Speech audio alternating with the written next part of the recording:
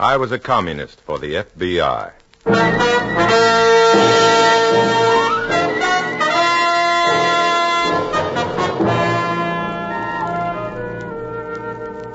Starring Dana Andrews in an exciting tale of danger and espionage.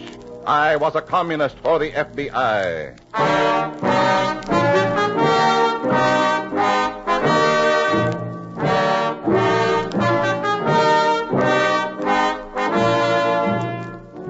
The actual records and authentic experiences of Matt Cvetic How many of the incidents in this unusual story.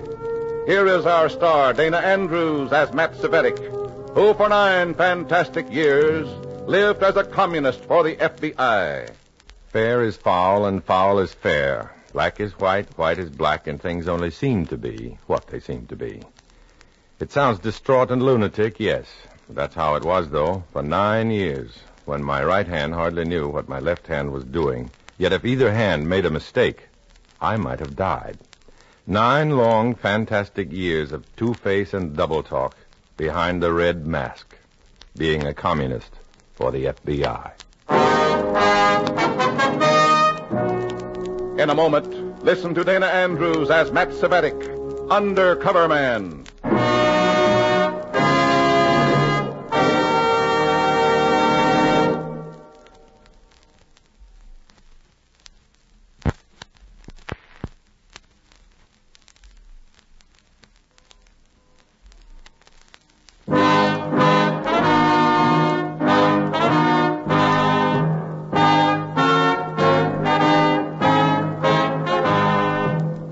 Here is Dana Andrews as Matt Cvetic, Undercover Man. This story from the confidential file is marked Very Private Funeral.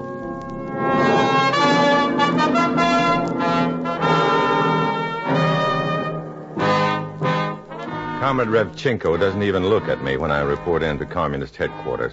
He lolls back in his swivel chair, gazing dreamily out of the window. I never liked that dreamy look in Revchenko. It's kind of spring fever he gets periodically. I just wonder which way is he going to spring this time? I sit down gingerly. Revchenko swivels around and peers at me bitingly. Comrade Savetic, Here? what do you know about the so-called electronic brain?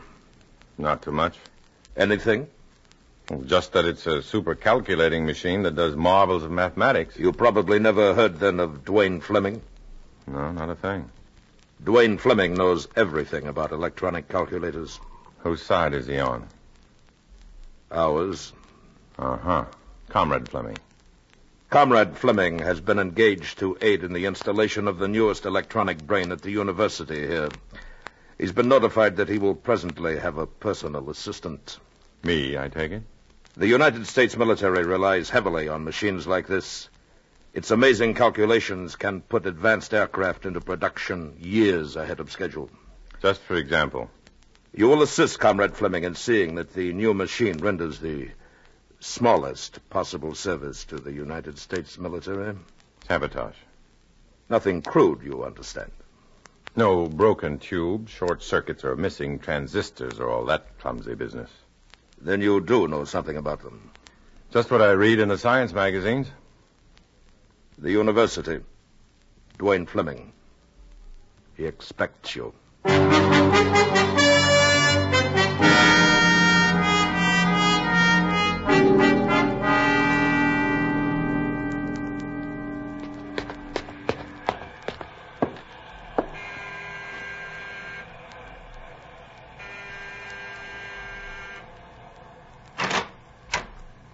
Yes, Is uh, Mr. Fleming home, please?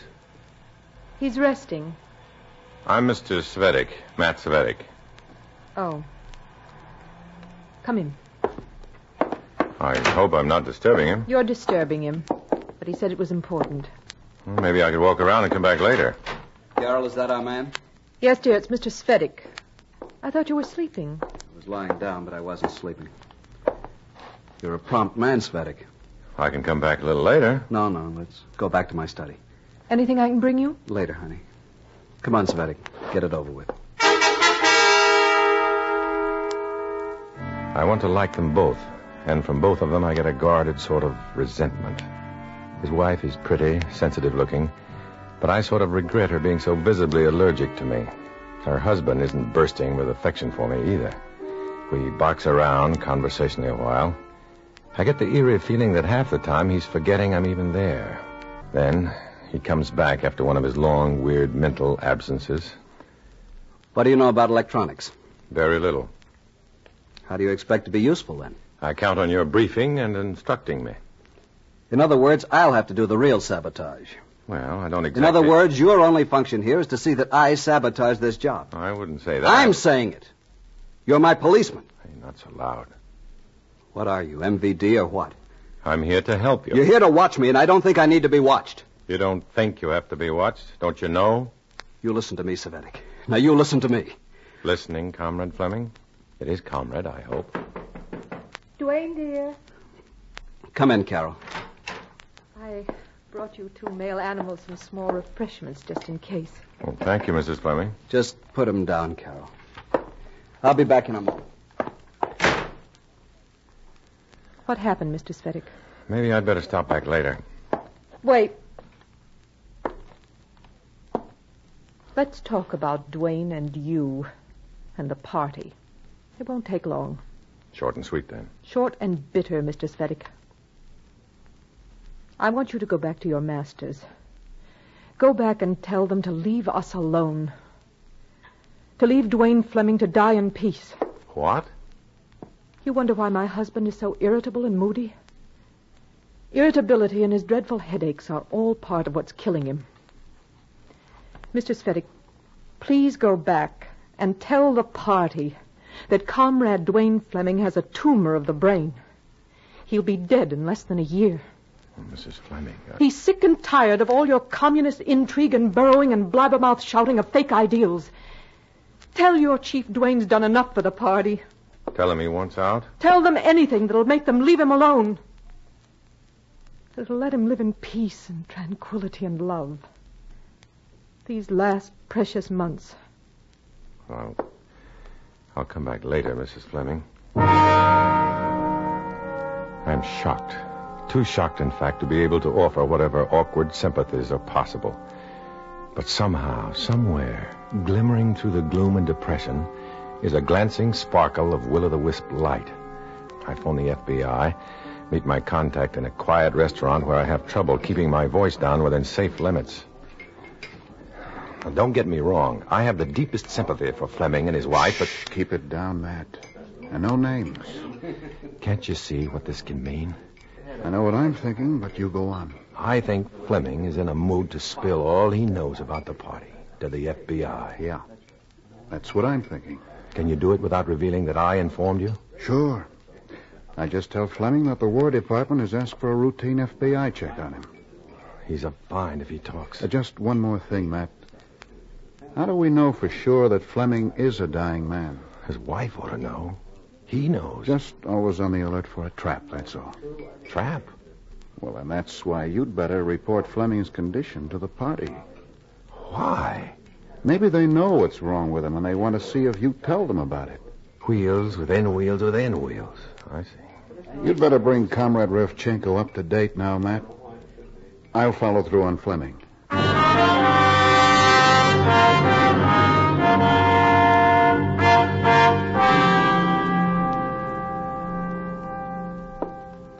Ah. One year to live, or less. Is that it, Savetic? That's it, comrade. So the contemptible turncoat turns cold on the party. Suppose the FBI gets to him in his present mood. I, I don't think we have to worry about that. He wants to live out his last few months in quiet.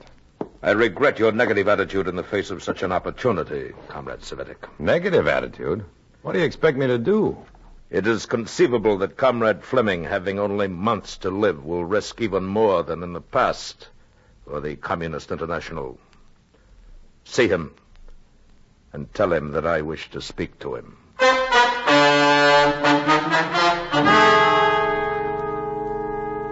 I telephone Fleming's home from a pay booth. I get his wife on the telephone. There's something triumphant about the way she tells me Duane isn't home. He got another call earlier today. A man called for him about an hour ago, and they haven't come back yet. You wouldn't know who that man was, would you? Nobody you'd know, I'm sure. Well, tell Duane I called, and that I'll call again. It's important. Very well. Goodbye.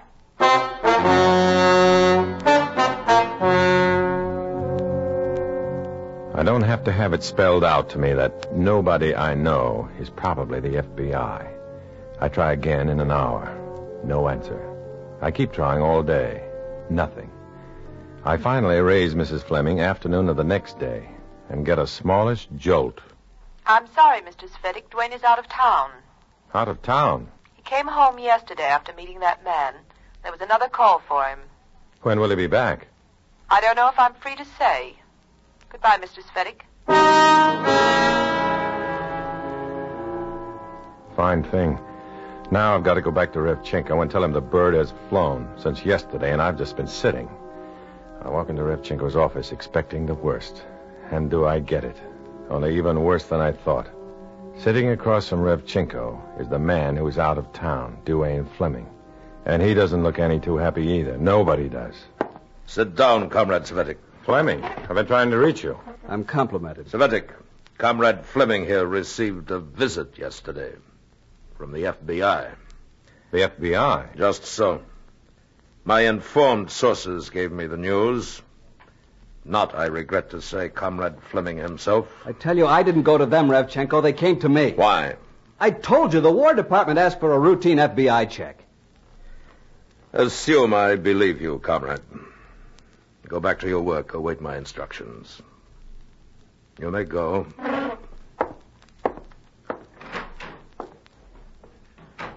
Now then, Comrade Savetic, next things next. His wife told me he was Comrade out of... Savetic, the party does not always content itself with the reports of even the most trusted members. What report are you referring to? Any, specifically? The report that Comrade Fleming has a fatal brain tumor.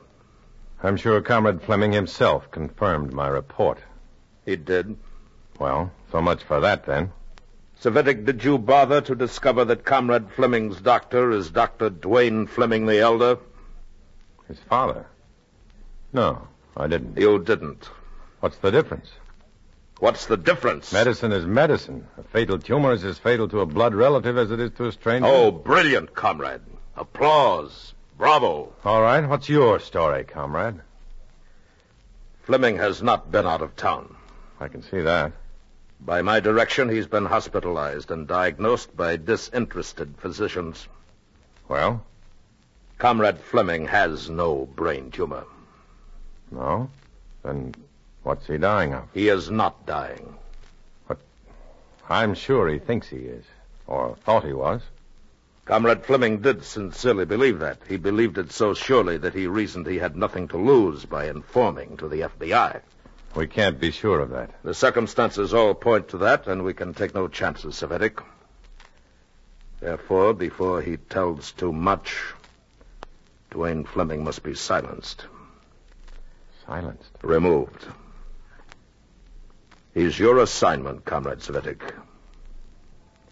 Attend to it. Now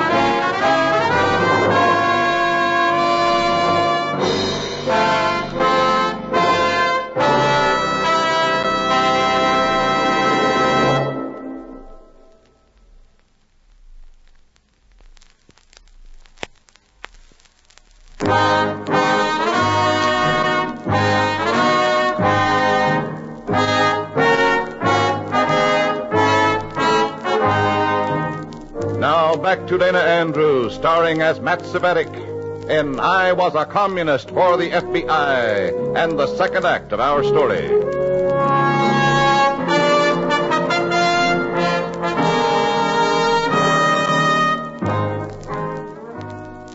I sit staring at Revchenko. My mouth is dry. I've been asked to remove a human life, which has now become an annoyance to the party. And I show my feelings. I can't help it. No commitment I've made to the party or to the FBI is going to turn me into a tool of killers. Not even if it kills me. I know my reaction is making a very bad impression on Comrade Revchenko. Fake it, Savetic. Pretend, Savetic. Make a showing act. You're pale, Comrade Savetic. Oh, yes, it's it's a shock. If you have apprehensions about your role in removing this traitor from the area of danger, let me make myself clear. I do not expect crudities from you. Crudities? I will provide you with people to contact. They will execute our design. I see. You merely make the arrangements for Comrade Fleming's successful suicide. Mm-hmm. Merely telephone this number. Arrange a meeting. State the case and the requirements. What about payment? Payment is arranged for through entirely different channels. Okay. Now go. And keep the party out of it.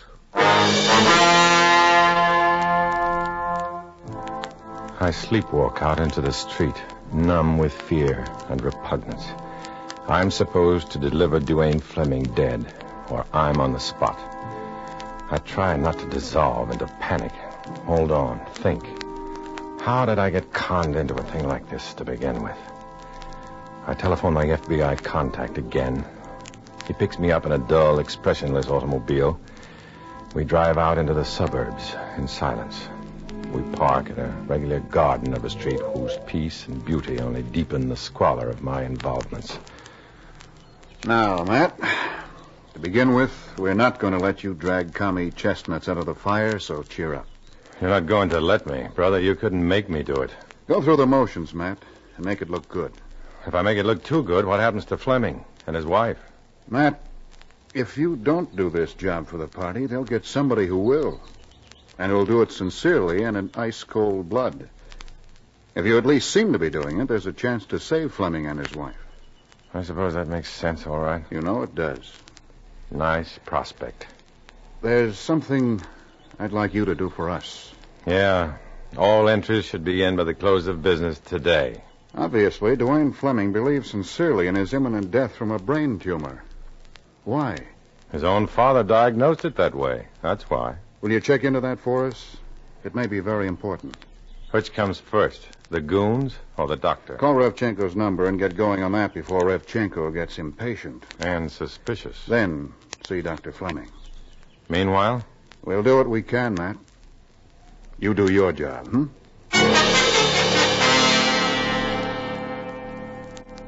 I go to a phone booth. I fumble the coin several times before I can make myself deposit it in the coin slot. I dial, perspiring, shaking. I get a laconic voice on the phone. I take a deep breath, state the case briefly and guardedly. The laconic voice makes some notes, makes an appointment with me for that night when Fleming will probably be home. Pick me up, intersection of Nelson and DeGarmo, eight tonight. Click, it's done. I'm an accessory to successful suicide. I've got time to see Dr. Fleming, Duane Fleming's dad. I dial his office, make an appointment for after office hours. Urgent and important. Now then, we're quite alone, Mr. Um, It doesn't matter, Doctor. if I'm to be your physician, sir. You're not. I'm afraid I don't quite. You're Duane Fleming's father, aren't you? You diagnosed his case as a brain tumor, right? I don't discuss my patients with anyone, let alone nameless strangers. I happen to know your son isn't going to die. Who are you? Your son went to another brain specialist. My son has complete confidence in me. He would never have doubted my diagnosis, except under influence. Nevertheless, Doctor, You're a communist. I don't call you names, do I? Nevertheless, Why did you make that phony diagnosis on your own son? it was not a phony diagnosis, as you crudely, as you. Go on, Doctor. All right. I made that diagnosis because he is my own and my only son. Because my son was sick. Sick to his heart and soul. Sick in his mind from the same disease you have. It almost worked. Almost worked. You're a doctor. How could you do such a thing? Do such a thing. Whoever you are, I know what you are. Turn around. Read the oath of Hippocrates framed on the wall there. Well, The oath we doctors live by and practice by. Read it. I swear I make this mine oath and this mine written engagement. Further down. Where? From so far as power and discernment shall be mine. From there, read it. I will carry out the regimen for the sick and will keep them from harm and wrong. The sick, sir. I will keep them from harm and from wrong. My son was sick. Yes, rotten sick. Sick to the soul of the sickness you have. I used my medicine according to my art and my conscience and my oath to keep my sick son from deadly harm. Now get out. Dr. Fleming, you started to deny my accusation that you made a fake diagnosis. Why? Out. Who are you protecting, Doctor? Carol, your daughter-in-law? Get out, I tell you. Okay. That's the way you want it, Doctor. Scum.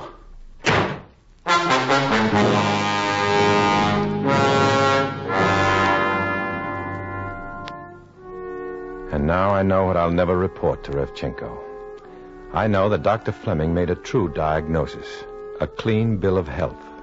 It's Carol who has taken it upon herself to tell her husband he's dying.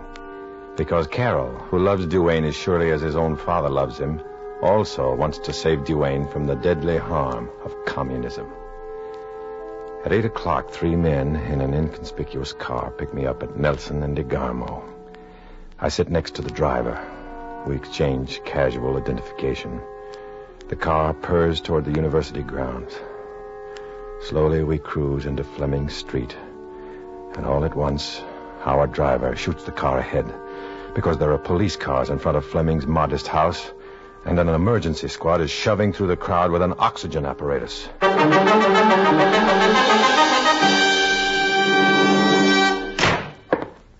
Pachinko, You were always to call before coming down to headquarters, Savetic. You know that. how can I call if you always cut your telephone off when you work after hours? Get on with it, Savetic. How did it go? It didn't go. So?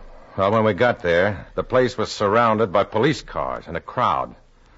An emergency rescue squad was taking oxygen apparatus into the house. Oh?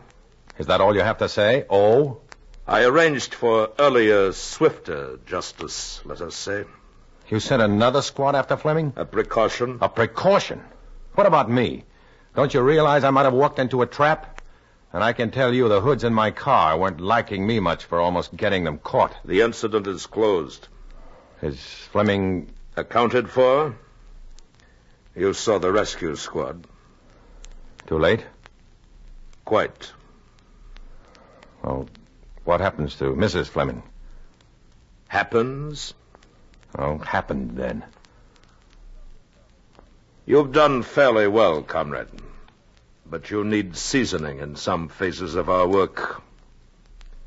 It will come. Good night, Savitic. Good night, Comrade Revchenko.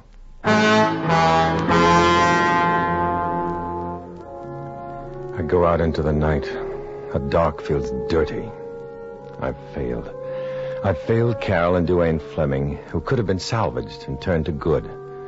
I try to close my mind to the vision of that rescue squad rushing into the Fleming house. Too late. I stop at a radio TV store to listen to a local newscast, and sure enough, it comes. A young couple on assignment to the electronic brain project on the local university campus was found dead today of asphyxiation in what was called by the police a suicide pact. The police medical examiner stated that, and so forth. I go to a telephone like an automaton, dial the FBI night number. We don't talk, just arrange to meet for a sandwich at an all-night drugstore. Are you ready to talk now? Keep it low.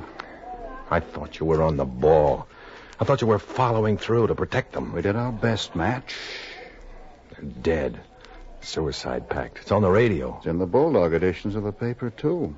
You did your best. We were there when Revchenko's goon squad arrived. We picked them up and invented a whole setup about the Flemings being asphyxiated.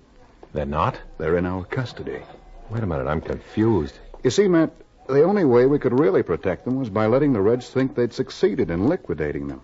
We're hiding him and Carol away in the Northwest under protective custody. He's told us everything. We want to be sure the Reds don't take him away from us again. Yeah, They can have a new life up there. Good. The old life of the Flemings gets buried tomorrow. closed to the public. Guess why? You don't habeas any corpus. Toss you who pays the check. Toss nothing. This one's on me.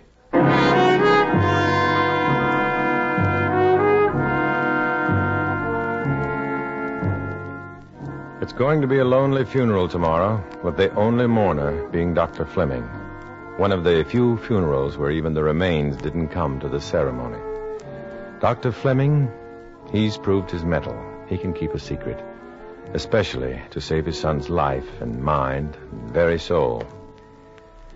Sometimes, after jobs like this, I feel awfully smug about myself, awfully well pleased with the FBI. It doesn't matter that good people like Dr. Fleming think I'm scum. I mean, it doesn't hurt too much. I'm hardened to it now, almost. I'm a communist for the FBI. I walk alone.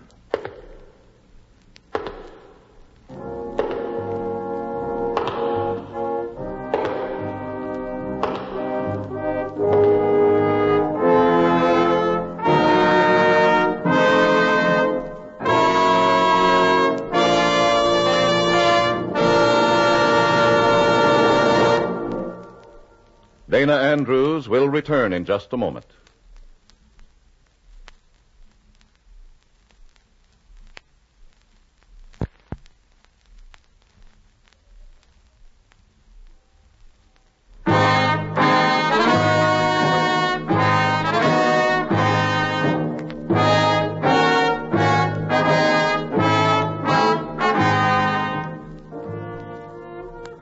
This is Dana Andrews, friends. We believe the way to fight communism is not only to expose its intrigues, but to sell democracy. In the story you've just heard, names, dates, and places have been disguised for obvious reasons, but many of the incidents are taken from the actual experiences of Matt Savetic, who worked undercover for the FBI. Next week, another exciting story. Join us then, won't you?